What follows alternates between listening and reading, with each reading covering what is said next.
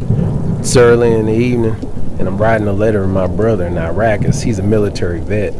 Four tours, 4,745 days of true American blood flowing through his veins. But suddenly, the pen was snatched from my hand. As I go to retrieve it off the floor,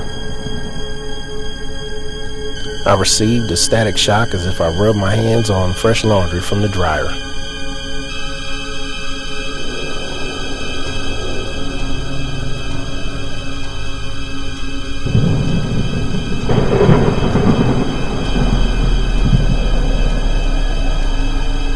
Thinking nothing of it, I continued to write to my brother. Unbeknownst to me, I thought I was writing a well worded letter. But as it turns out, my pen would do the writing for me.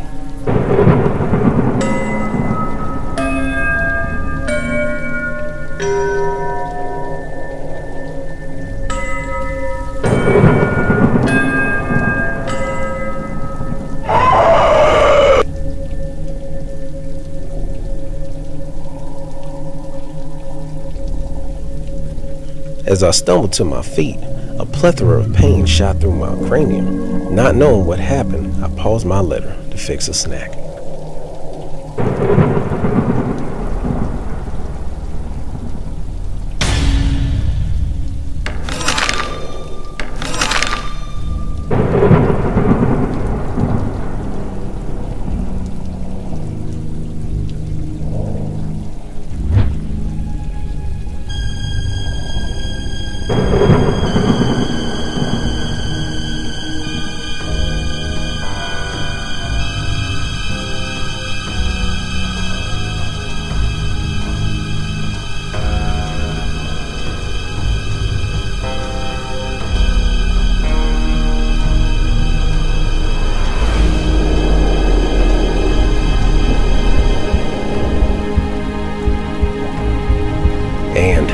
A debilitated load, I stressfully made my way to the bathing area.